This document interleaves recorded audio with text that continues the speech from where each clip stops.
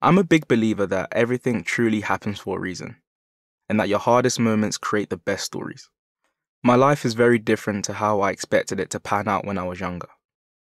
I'm not a footballer, nor in prison, nor dead.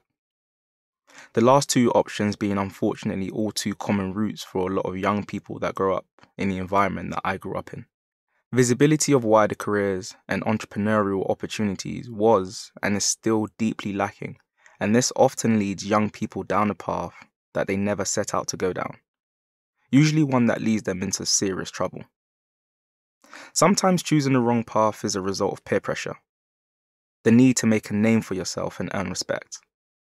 However, most of the time, I believe the main reason they find themselves going down the wrong path is because of poverty.